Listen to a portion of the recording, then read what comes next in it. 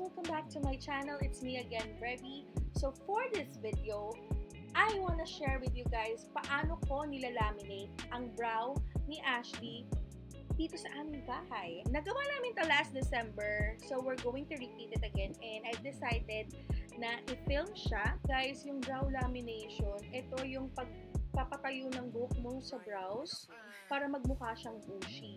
Diba uso nga yung mga bushy-bushy eyebrows. Normally guys, it will last for about a month based on our experience. For this guys, I'm going to use this lash lift na nabili ko sa Shopee. Mga 350 siya. So, yan ang aking gagamitin for this brow lamination.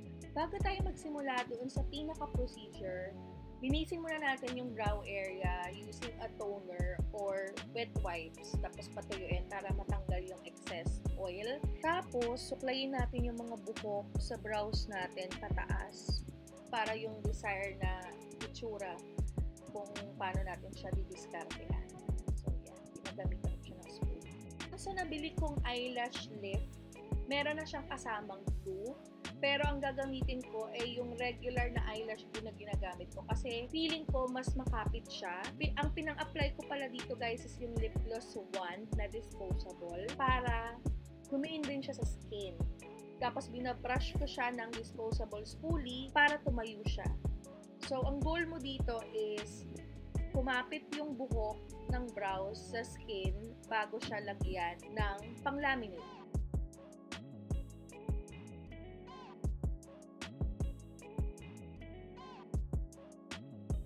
So, tapos na nating i-glue lahat yung eyebrows ni Ashley. Gagamitan na natin siya nitong Firm Solution number 1. Ito yung amoy nito, para rin siyang yung pang-firm ng buhok. Please, dun sa instruction, lagyan mo lang siya ng thin layer dun sa eyebrows. Tapos, ibababad mo siya ng uh, ah, 5 to 8 minutes para maluto. Kailangan mo rin pala siyang takpan, guys, ng cling wrap.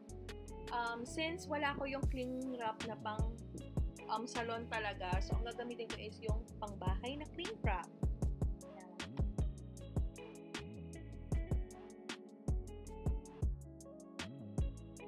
So, natanggal ko na yung cling wrap, pati yung gamot, guys. Kaya lang, sorry talaga, pasensya na hindi pala siya naka-record, hindi pala na-press yung button. Anyways, ilagay na natin yung solution number 2, which is the fixation. So, Ayan, lagay natin. Thin layer lang din siya, guys.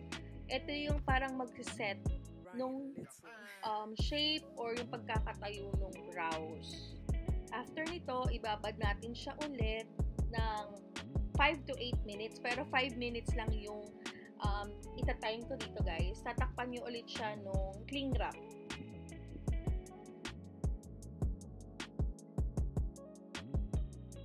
So, after 5 guys, tanggalin nyo na siya ulit, tapos linisan nyo siya ulit para naman ilagay nyo yung third solution. So, ang ginagamit kong panglinis dito is Q-tips, tapos afterwards, yung cotton pads. Natapos na natin linisin, ilagay na natin yung pangatlong solution, which is nutrition.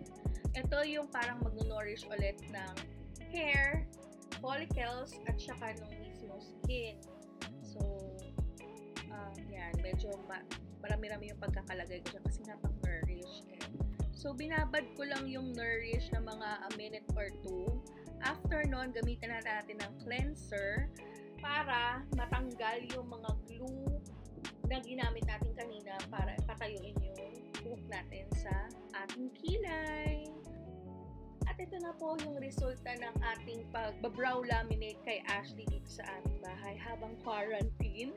So, ayan po yung itsura niya ng walang brow product.